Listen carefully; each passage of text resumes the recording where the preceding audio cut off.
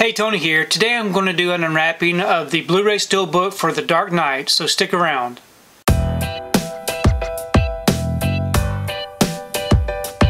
So today I wanted to take time to do an unwrapping of the Dark Knight Blu-ray Steelbook. Here's the front, and here's the back.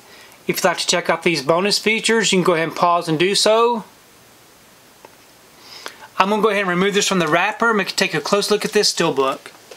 Okay, got the wrapper off and the J card removed. Here's the front of the Steelbook. Really nice looking image there. I do like that. It is a matte finish, no embossing or debossing. And then we have this great looking artwork on the back. I do love the way that that looks. We open it up. We have our front and back together. Really nice looking artwork. I do like that. On the inside, this does come with two discs. We have our Blu-ray disc here of the feature film.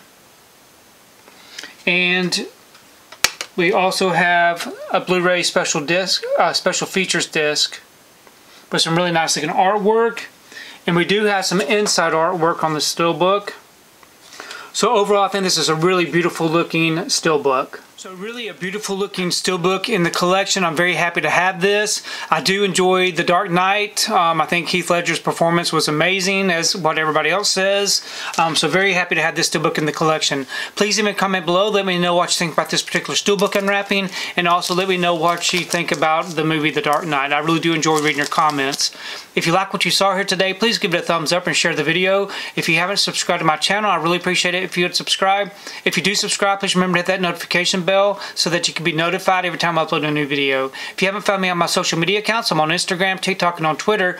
And if you'd like to find out what I've been watching, you can find me over on Letterboxd. I do have links below. But thanks again for watching, and we will see you next time.